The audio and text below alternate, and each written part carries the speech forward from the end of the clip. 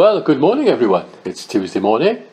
It's the 3rd of November, and we are gathered here for our Tuesday morning service. A very warm welcome to Greenfield once again. It's a joy for Dara and I to welcome you. I pray that these Tuesday services are of help to you in the middle, perhaps, of what is a, a busy week. But under this present lockdown as well, I know that many people do appreciate this service, and we pray that it will continue to be a blessing to all who join with us. So, a very, very warm welcome to Greenfield this morning. Let us pray. Father, we thank you again for this time together, and uh, even though the weather is cold and inclement, we just thank you that you are the God who brings warmth and joy and light to our hearts. Who is like unto you, O Lord? You are the God who in Christ has loved us and, and given yourself for us, and we gather for this short time together just to praise you and to thank you and to spend time with you and around your word. So hear our prayers Holy Spirit, move among us, we pray. In Jesus' name. Amen. The hymn is Be Still, for the presence of the Lord, the Holy One, is here.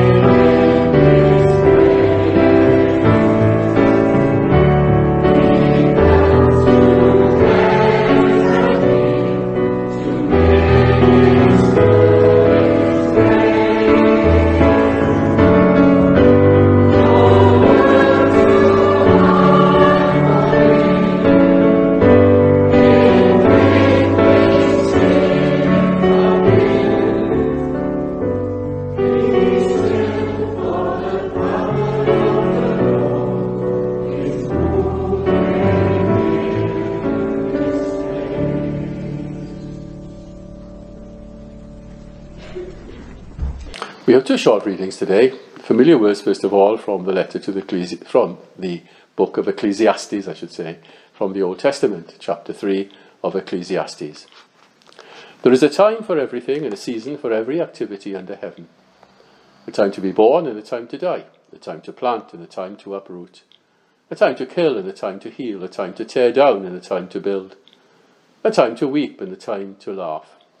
A time to mourn and a time to dance a time to scatter stones, and a time to gather them, a time to embrace, and a time to refrain from embracing, a time to search and a time to give up, a time to keep and a time to throw away, a time to tear and a time to mend, a time to be silent and a time to speak, a time to love and a time to hate, a time for war and a time for peace. I'd like to follow that with words from the Gospel of John, chapter 6. And uh, we read from John chapter 6, verses 66 through to verse 70. On hearing this, many of his disciples said, This is a hard teaching. Who can accept it? Aware that his disciples were grumbling about this, Jesus said to them, Does this offend you? Then what if you see the Son of Man ascend to where he was before? The Spirit gives life, the flesh counts for nothing. The words I have spoken to you, they are full of the Spirit and life. Yet there are some of you who do not believe. For Jesus had known from the beginning which of them did not believe and who would betray him. He went on to say, This is why I told you that no one can come to me unless the Father has enabled him. From this time, many of his disciples turned back and no longer followed him. You do not want to leave me too, do you? Jesus asked the twelve. Simon Peter answered, Lord, to whom shall we go? You have the words of eternal life. We have come to believe and to know that you are the Holy One of God. May God bless to us our reading from His holy word. Amen. Our hymn, I hear thy welcome voice, me glywaf yn yr I hear thy welcome voice that calls me, Lord, to thee.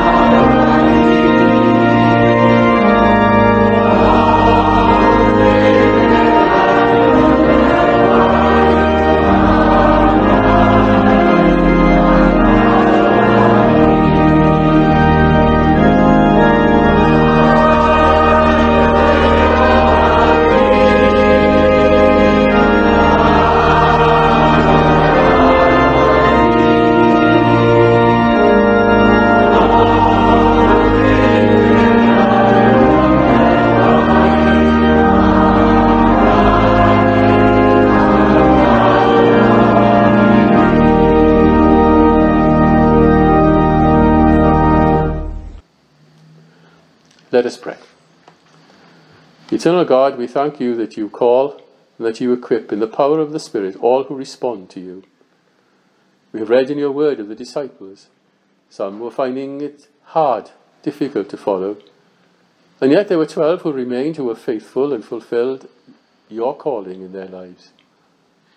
Lord, we live in difficult days. We recognize that. We know that the world around us is an unbelieving world. And yet you have called us and you have equipped us in the power of the Spirit. I hear thy welcome voice that calls me, Lord, to thee. You have called us to yourself, Lord, and you are the way, the truth, and the life. In you is the hope that we have. In you is the joy we know. In you. And through your death and resurrection from the dead, you have granted us eternal life. Life that is life indeed. Therefore, we come today, Lord, recognizing our sins and shortcomings, recognizing that often we wander off into the darkness of this world. And yet you welcome us home. You welcome us, and you receive us, you forgive us, and you restore us. And we thank you for that, Lord. We've heard often the hymn, Amazing Grace, how sweet the sound. It is indeed an amazing grace, Lord, and, and we thank you that you have enabled us to come to you. May we come then from our wanderings. May we come from our doubts and uncertainties and trust and believe in you. And thank you that in the fullness of time, the Word became flesh and dwelt among us. And we have beheld his glory, that of the only begotten of the Father, full of grace and truth. Father, we thank you today that we are gathered here, and wherever we may be, may we know your presence. Perhaps we're feeling life to be tough at the moment. Perhaps we are feeling that the world is passing us by and this pandemic is raging in so many lands, causing such upheaval and so much concern and anxiety. Lord, help us to know that you are with us. For when we trust and believe in you, you have said you will neither leave us nor forsake us. So give us that confidence today, Lord. And to know that as we are gathered today, as we are here, that Jesus is with us. And the Word of God says that He will wipe away the tears from our eyes. Lord, in our weakness be our strength, and in our wanderings be our guide. In our hiraeth be our comfort, and grant us peace. For these things we ask in Jesus' name. Amen. Let's hear a chorus together, dear friends. As we are gathered, Jesus is here. As we are gathered, Jesus is here.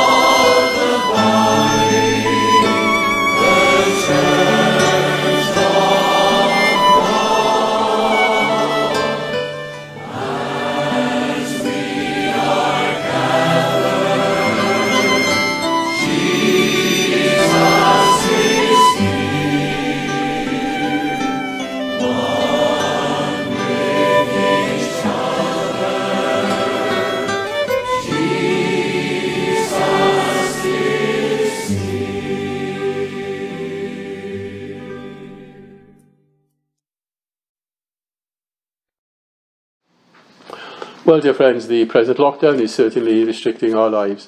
Until now, the, the 9th of November, we have no real choice but to adhere to the conditions that are placed upon us. We all have to cooperate, we all have to do our bit, we, to ensure that this pandemic does come to an end. The second wave, in many ways, is, has been of greater concern than the first wave, which began last March, you remember.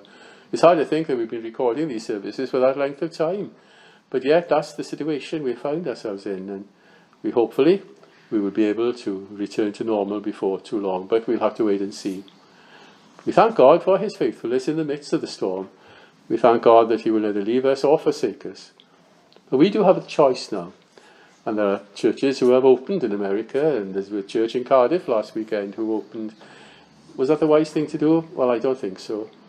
The word, the New Testament is clear that we have to adhere to the um, to the governing authorities that are over us to be good citizens, and, and that's part of us being part of good citizens in the land in which we live. It made me think about the whole question of choice. Choice is important to us, isn't it? We like to make our own choices in life. And that is something that is part of our civic freedom, really. We have choice to do good, or we can choose to be indifferent, or we can even make the choice to do, bad things. The Bible recognizes that we have all fallen short of the glory of God, and sometimes we regret the choices we have made in our lives as we look back over the lives we have lived. We think of those like John Newton, we looked at, you remember, who wrote Amazing Grace. He made a choice later in his life to trust and believe after a life where he called himself the great blasphemer. Go back to the Bible and we can see examples there. The Apostle Paul, you remember, was Saul of Tarsus, persecuted the church. But he was challenged one day by the presence of the resurrected Christ. And he committed himself. The choice then was before him either to be the man he'd been, but to follow a new way that God had ordained for him. Choice is important. The greatest democracy in the world, in the USA today, are making a choice regarding a new president, whoever that will be. By this time tomorrow, we will know who the new incumbent of the White House will be. I'd be grateful for the gift of democracy that we have a choice. There are many in our world who live under the whims of dictators who do not have that choice. Personal choice is something, of course, that we treasure. The freedoms we often take for granted are those freedoms that we must ensure are done to, for our good and for the good of those around us. If we have made wrong choices in our lives, then we have the opportunity to make good choices for the future. Now, our reading from the Old Testament, from the book of Ecclesiastes, reminds us of that. There is a time for every purpose under heaven. Solomon, who wrote these words, was saying, Look, this is the variety of life. These are the things that happen in life. There are very different times. We have to make choices within them. Simon Peter came to Jesus because there was a time when the disciples were feeling perhaps that they could not keep up with things as they were. They had, they had chosen to follow Jesus, and now they had come, come to a, a sort of watershed in their, in their relationship with him. And many were feeling, well, we just can't keep up with this. And Jesus said, it's your choice. What are you going to do? And Simon Peter said something. He said, To whom shall we go? With you are the words of eternal life. And that's what I'd like to leave with you today. We have a choice to make in this life. The Word of God does not force us to believe. The Word in God invites us to believe. Jesus said, Behold, I stand at the door and knock. He doesn't force himself in that door. He waits outside for us to open the door of our hearts to him.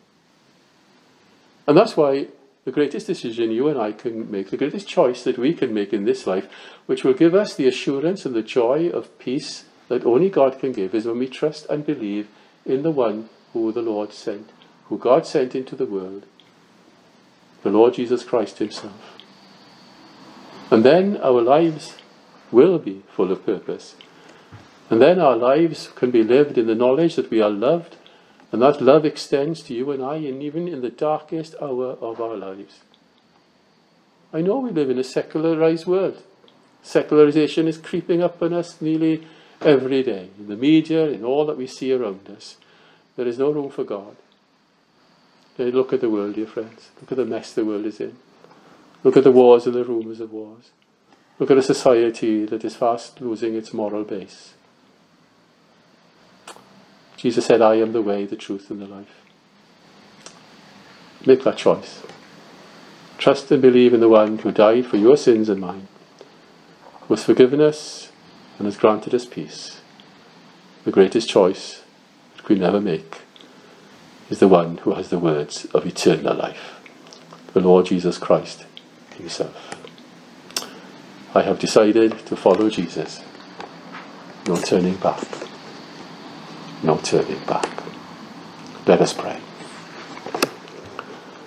Father, we just thank you that we've been able to spend this time together and have been reminded, Lord, that you are the God who loves us and has given yourself for us.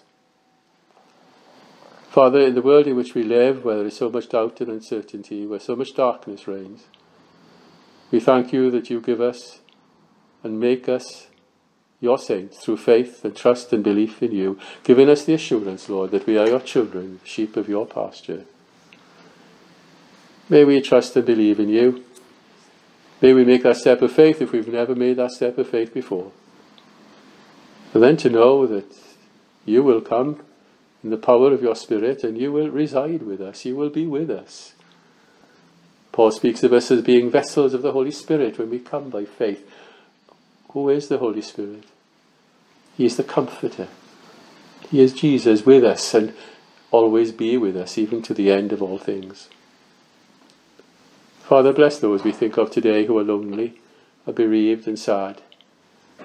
Those who are following paths of life that we know are leading to destruction, O Lord, lead them along the path of reconciliation and righteousness and hope. Be with those, Lord, who feel the world is against them and that they have no one to turn to. May they know that Jesus says, Come to me, all ye who are weak and heavy laden, and I will give you rest.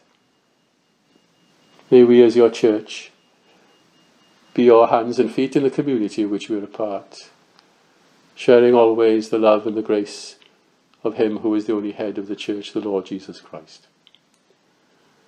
Lord, be with us now as we bring this service to a close, and may we know, Lord, that long after we have put the television off, long after we have are carrying on with our daily deeds, that you will be with us, Lord, because we have made that choice. We have decided to follow Jesus. Grant us peace. In his holy name. Amen. I have decided to follow Jesus. No turning back.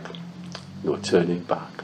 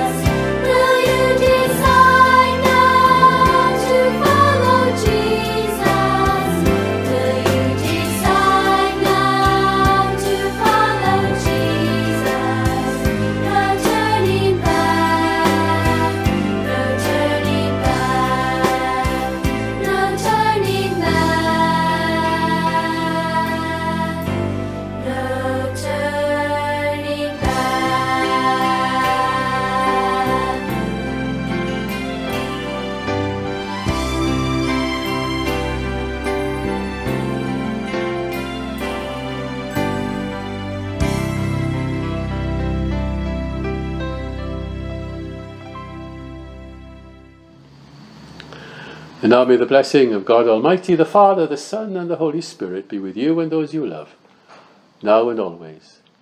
Amen.